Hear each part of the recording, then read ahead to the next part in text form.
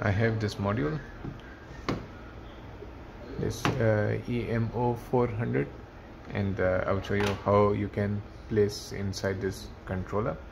Uh, EZM 4450 or ESM 4450 both are same. Uh, for both are same module.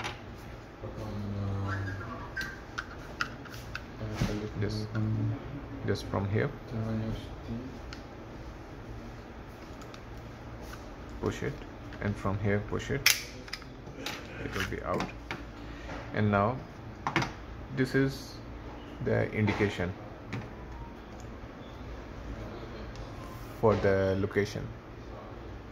So which means that I need here slot number one.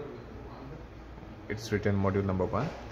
So it should be here. So just check up and down. It's written up. So check the screen. This is the screen. So it should be up like this.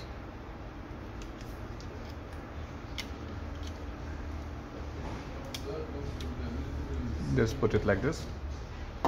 And there is a small sticker. This sticker. Just you will take out the sticker be sure to make the alignment correct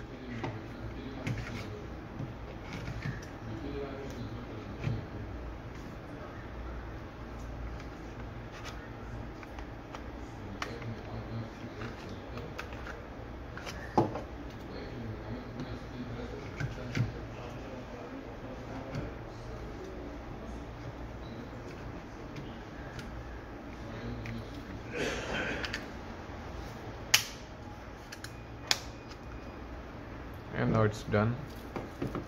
Just take out the sticker.